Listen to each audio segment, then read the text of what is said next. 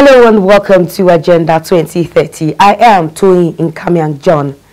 Good health and well-being are the cardinal parts of the attainment of the Sustainable Development Goals. As elucidated in Goal 3, the global agenda seeks to ensure healthy lives and promote well-being for all at all ages.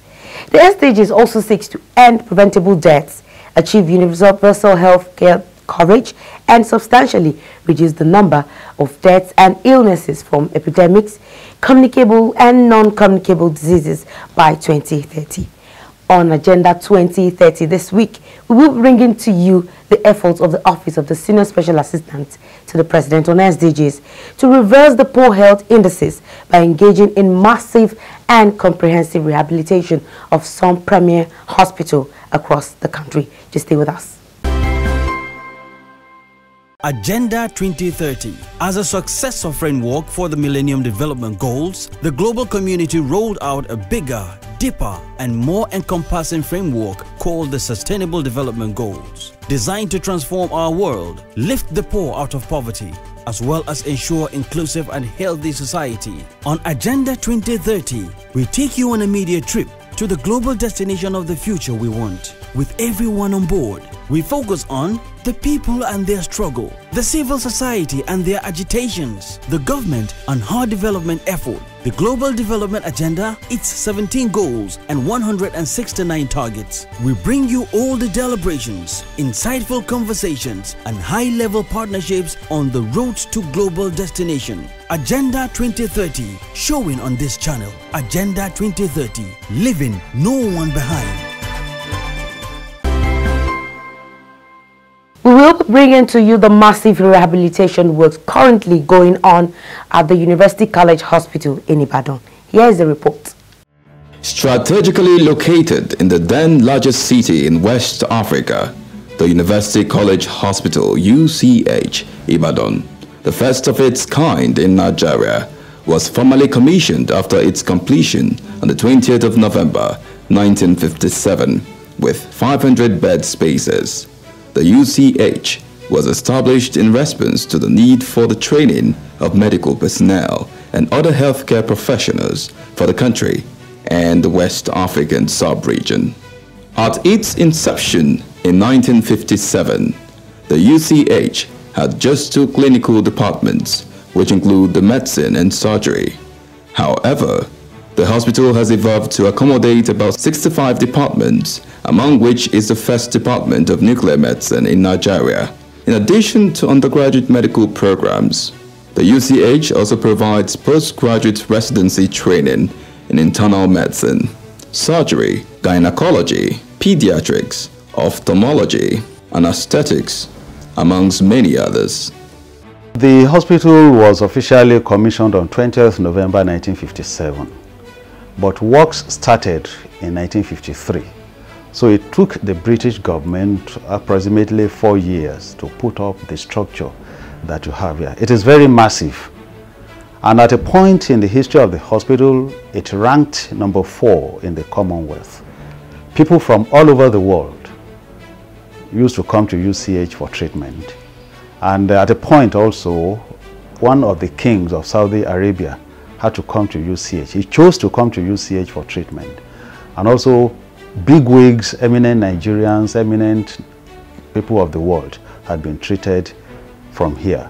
Sadly, the UCH has suffered years of lack of maintenance, resulting in huge structural dilapidation, as most of its structural components had neither been changed nor repaired since it was built in 1957.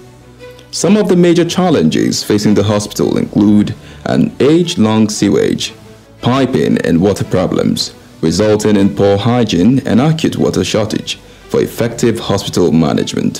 When we came around, we noticed that the some windows here has broken, whilst the mechanical aspect of it, and that is the plumbing, is not working well. We noticed that some of the offices are not being used anymore due to the breaking of the pipes, due to the feces coming down from the floors.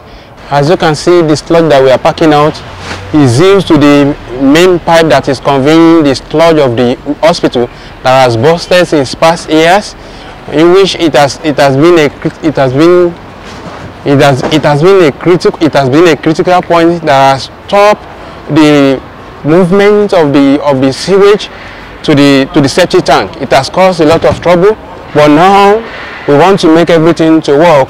We are working on the other ground now. We are removing the sludge. We are removing the entire pipe, and we will replace it with new ones, whereby all the all the all the pipes will be covering will be conveying easily. There won't there won't be blockage, and the hospital will be enjoying needs better. As part of government's commitment to providing quality health care towards ensuring the well-being of all Nigerians, the Office of the Senior Special Assistant to the President on Sustainable Development Goals, in collaboration with the management of the University College Hospital Ibadan, took up the responsibility to innovate the premier hospital towards enhancing a pleasant experience for staff and patients. The five blocks of the hospital, renovated by the Office of the Senior Special Assistant to the President on Sustainable Development Goals, include the Southeast Wing, the Central Wing, the Southwest Wing, and the West Wing. When completed, there will be a total rephrasing of the sewage and piping system of the facility with the aim of addressing the incessant shortage of water supply issues in the hospital. This is the first time that such a project will be carried out at the UCH since it was established in 1957. The renovation also includes the installation of new LED lights and windows in all the blocks. Also with the installation of 200 solar street lights, the hospital now properly illuminated at night. For those who have known the perennial problem of water shortage at the University College Hospital, whereby doctors will have to use what they call pure water sachet to wash hands at times. Patients have to carry kegs of water through many floors before patients are able to have clean water to drink and for other utilization. This project has made water to flow in many, all the wards that they are handling because they are handling five major blocks. Water is now flowing uh, to a reasonable level in all of them. So the aesthetics of the hospital has been improved because they changed our windows, they painted and um, the floor, the walls, the roof, all of them are now looking new. This has improved our aesthetic appeals because it is interesting that when we travel overseas, these are some of the things we see that attracts us to go there. And of course, I, I, I know I'm correct to say that even a good ambience of the hospital the, the neatness of the walls and the beauty of the environment also constitutes or has some healing power on its own. And of course, the office of the Senior uh, Special Assistant to the President on SDG, Dr. Adejoke Adefulire, also helped us to install solar-powered uh, light. This has gone around all the campus and of course, uh, it's, a, it's a beauty to behold when you come to UCH at night, even when there's power outage. UCH is never in darkness. It is so beautiful to behold. And these are things that has been the value addition uh, to our institution, the University College Hospital Ibadan. I feel so excited and I feel so proud of the President of the Federal Republic of Nigeria, President Muhammadu Buhari, GCFR, who under the Office of the uh, Sustainable Development Goals has made it possible for Dr. Ade Joke Orelope Adefulire to grant us this massive renovation that is going on in the hospital. We really appreciate the President. We also appreciate Dr. Adefulire for what she has done for us. We have never had it this good. The renovation job ongoing, pioneered by the SDGs, is something that uh, has turned around the ambience and then the service rendered by the University College Hospital. In a way, it has affected our tripartite functions, that is the research, service, and uh, training. All the pipe that have rusted for years, they have removed it and then they have replaced it with a new one.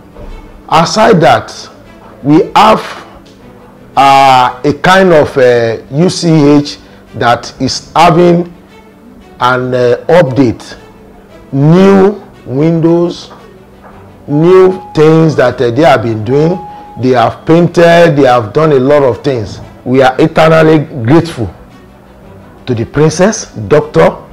Adejoke Orulepe Adelurure. We have never had it this way since 1957 that University College Hospital has been put in place. This is the truth. There is no major renovation like this that will touched every part of the buildings that we have. The originator of this institution, they did, they did great job. Uh, we just learned uh, that uh, the engineers that really built the structure, UCH, uh, did fantastic job. That is the aging factor. Some of this structure got uh, damaged and uh, because of age and all these things along the line. So that's to tell you that especially the water reticulation, the sewage line got blocked and uh, whatever superficial repair you do, you still have issues with uh, the blockage and the flow. So with this current uh, project going on, it's a relief because it's holistic. We are not just doing it at the surface. You are going to go to the root. As we are here, there's still underground a walkway that can take home. And that is where all the sewage line, how the pipes pass through. So if that one is blocked and you do anything up here, then nothing will work. And that has been the experience in the past. You find a situation where some of those pipelines are repaired in what, and yet they still get blocked within a short time. But this current project is unique in the sense that they will take care of that sewage line underground and that means a better job to us. According to the head of engineering and projects monitoring committee of the UCH, engineer Olujobi Emmanuel Olayinka, the project when completed will tremendously facelift the UCH, adding that the intervention will now enable the hospital to be able to provide effective healthcare delivery to patients and staff of the hospital. At the end of this uh, project, this exercise, the renovation, number one, the UCH will come out in a very, uh, a very new look that is generally aesthetically. And uh, uh engineering-wise, uh, most of all our uh, supply, water supply system and electricity, power supply system will be improved. Most of the walls that are in darkness and some switches and that are not working for many years that since the time of the Queen Elizabeth over 60 years ago we now have a, we, we, we will be having a modern one that will uh, be of encouragement and be, uh, make our jobs maintenance work to be easy. And in terms of the inpatients that are that will be coming uh, it will afford them a very good opportunity to have a better care. Because better care they will have a better bed better uh, water supply better electricity and uh, better equipment that are that will be installed in the in each ward and in the laboratory. The senior special assistant to the president on sustainable development goals princess adejoke orilokpe adefulire in her remarks reiterated the commitment of government towards providing sustainable social development to Nigerians, especially in the areas of education, eradication of poverty, bridging the gender equality gap, and provision of healthcare. Princess Adejoke highlighted the efforts of the SDGs towards providing intervention to support the sub-national governments in ensuring the acceleration in the achievement of the global goals in Nigeria. At this time, we need more support for us to be able to get our children back in school. It's very critical and very germane to this government and to this administration. So also the health sector must be revitalized. Also to get uh, the um, general hospital also to be more functional and the teaching hospital also to be more functional and maintained. Right now we are working in UCH Ibadan. And by the, this UCH Ibadan was built 57 years ago and there was no maintenance carried out since the hospital was built. Ditto to uh, Murtala Mohammed Hospital and Yola Specialist Hospital. So we expect that we'll go to Ahmadu Bello uh, Teaching university teaching hospital also uh, uh, during the course of this year to see how we can do some renovation work also there. So in doing that, we want to support the subnational government to ensure that people can walk into the hospital, get the best of that you can get, and reduce um, medical tourism across the world, and that you can get value for money even within Nigeria. Next, we will take you on a journey to the ancient city of Kano and Yola, where two frontline healthcare facilities are also currently receiving attention from the Office of the Senior Special Assistant to the President on SDGs in comprehensive rehabilitation. Take a listen. Established in 1926, the Murtala Mohammed Specialist Hospital has over the years grown to assume the status of premier healthcare facility in Kano State with its status as a specialist and referral center. People come from other neighboring states and even nearby countries to take advantage of its services. However, as a result of old age and lack of maintenance, the hospital was until recently not worthy of the premier status attached to its name. Though the healthcare workers were still trying to do their best for patients, most of the facilities were either working fitfully or had broken down completely. Patients were confronted with unpleasant sides of broken down facilities, ward and consulting rooms with worn out paints and toilets that have become unusable over time. But today, patients and healthcare workers are singing a new song following massive rehabilitation of the facilities and structures in the long neglected hospital by President Muhammad Buhari through the Office of the Senior Special Assistant to the President on Sustainable Development Goals, OSSAP SDG. The comprehensive rehabilitation work at the hospital, which commenced in 2019, involved rehabilitation of maternity wards and patient sheds, administrative block, x-ray, neuroemergency, medicine department, vote control office, eye clinic, accident wards, mortuary unit, children's surgical ward, pediatric outpatient ward, dental unit, senior staff quarters, anesthetic school, female orthopedic and surgery, A ward female and B ward, and the VVF theater. Also rehabilitated were the VVF ward, amenity ward, VVF consultant coordinator, VVF shared, female theater, physio unit and pharmacy, SINAG emergency, internary and clinic, maternity block, dining and kitchen, VIP toilet, septic tank, soakaway pits, solar powered boreholes and incinerators. The intervention by SDG's office also covered the rehabilitation of the maintenance unit, CSSD and store, growth monitoring unit, house officers quarters, junior staff quarters, laundry, sickle cell and pediatric unit, children ward, immunization and emergency pediatric unit. SDG has renovated this facility and have changed the look of it from the way it is before and the way it is now. Currently, the hospital look excellent and when you now look at it, even in terms of patient perspective and the community, they have appreciated that the hospital is far, far, far better than the way it was before. And this work made it in three perspectives. One is that in its look from outside, when you look at it, it has improved drastically and it is making neat and is looking toward the modern situation. And also when you now look at the internal aspects, when you look at the inside, the patients are far better and much more happier with the current situation. So it is highly appreciable.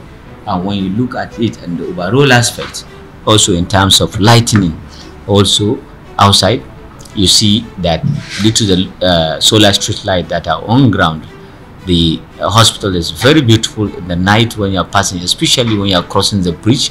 When you look at it outside, it looks very nice. With the rehabilitation, it has become a common sight for visitors and patients visiting the hospital to notice the complete change in the outlook of the structures in the hospital that are now wearing new paint. The last time we witnessed this renovation from the periphery, I think it's more than 20 years. But now look at it, not only uh, staff in this hospital or medical personnel, even visitors, they have been cherishing this, they have been expressing their gratitude and appreciation to the people who initiated this uh, renovation. What we anticipated is what we expect. And uh, everybody is now comfortable. And uh, what impressed me well is that the renovation goes along with supply of equipment. And the equipment is well up to date because this type of bed, you see, and the lighting system, the water system is well and good, is in conformity with the health standard as of this time. So we are sincerely very, very grateful. The infrastructural renewal has also given other sections of the hospital, including the administrative block, medical wards, theatre, and conveniences, new looks. Even more exciting was the restoration of regular water supply to hospital with most patients now able to use the conveniences conveniently.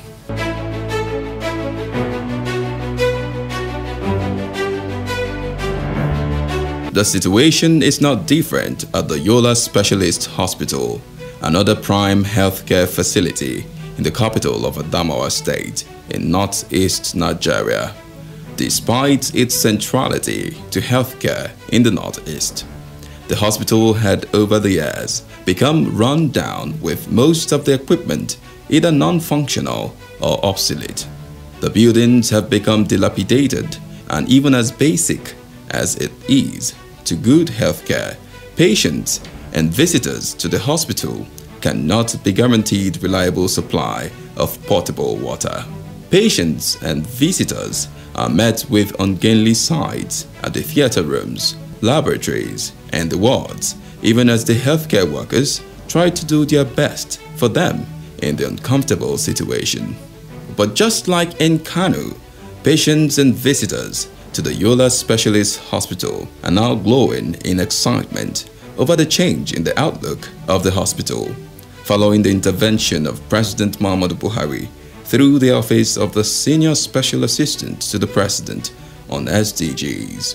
The office took up the comprehensive rehabilitation of the hospital, which covered the wards, surgical rooms, the pediatric surgical, orthopedic wards, the eye clinic, the accident emergency compound office.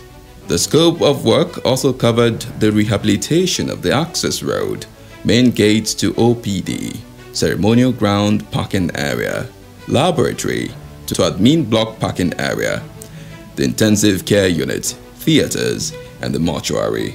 The result is that the specialist hospital, established in 1938, has now experienced a complete turnaround, though the rehabilitation work is yet to be completed. As you can see, right from the gate, you can see the overlay asphalt that has been started right from the gate to the admin block up to the parking area. We are the accident and emergency department comprising of compound office and dispensary units whereby the work has been completed and has been put in use. As you can see, people are being attended, those that have gone through accident and other emergency cases. The upgrade in the hospital through the intervention of the Office of the Senior Special Assistant to the President on SDGs is visible to patients and visitors to the facility right from the entrance with the new rebuilt access road and walkway. Last two years back, uh, this place not, is not like that. Now the place is very nice and, and we appreciate our government. The project is very nice and the hospital is looking nice now very beautiful. You see our flowers the zinc have, uh, they have already changing it.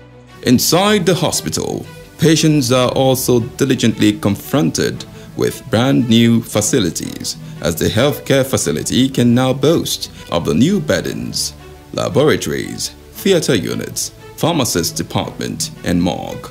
The rehabilitation, which began in 2019, has resulted in the complete remodeling of the administrative block and the access roads now overlaid with asphalt.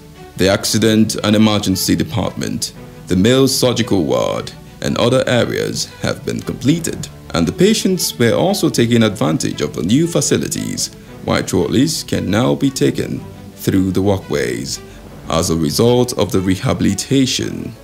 A patient at the orthopedic unit of the hospital, Mohammed Adama, commended the cleanliness of the hospital. We are so much happy about the environment because if you look at the environment, it's hygienic. And look at funds, look at everything. They are taking care of us, even the workers, even the nurses and the doctors. They are, Alhamdulillah, there's no problem. We are not facing any challenges or any problem. And we are conversing with them without any problem. So we don't have any complaint or any problem here.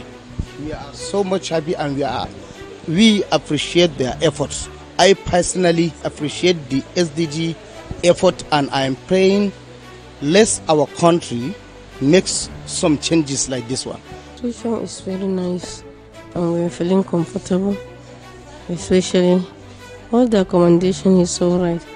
Um, the toilet especially, toilet and bathroom, everything is normal. There is water provided there, everything.